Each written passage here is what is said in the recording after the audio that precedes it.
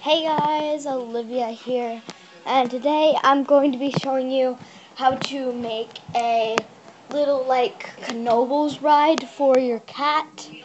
Okay, so first first step is get your cat, well, get a condo that has, wait, let me turn on a light, that has a boat-shaped top.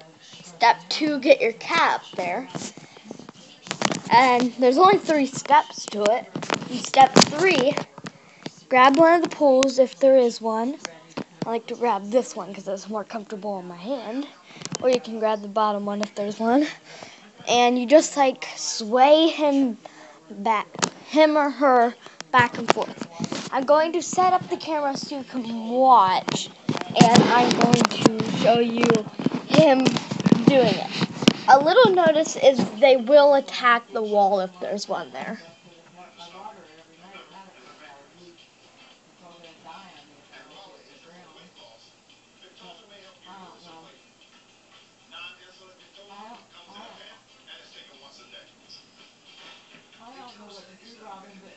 I told her, she said, Mom, I think Becky has her own phone. I think she's the one who asked me out his girlfriend because the Chris and Tori together, Tori would tell stories about that. And I said, that's right. And she said, well, I'm getting ready to get, I'm almost up there now. I said, well, Mary, don't even mention phone.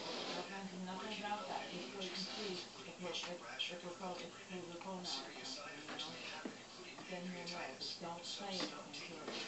I and I really think something has to be done about that. I came up with, you know, they still have to give her a cell phone. Of course, you know. Oh, let me say goodbye. Gotta say goodbye to YouTube. Come on, No, no. Bad, bad. I'm here.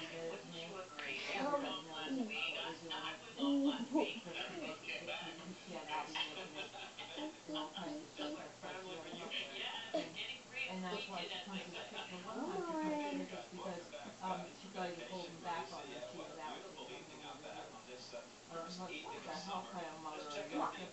I'm on. To God. No, bad, You pulled bad. that crap with that um crack.